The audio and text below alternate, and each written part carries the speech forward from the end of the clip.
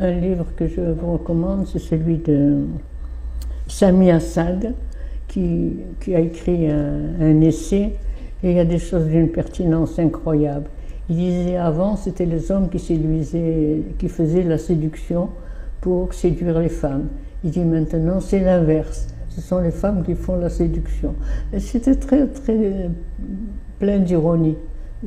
C'est un livre à lire.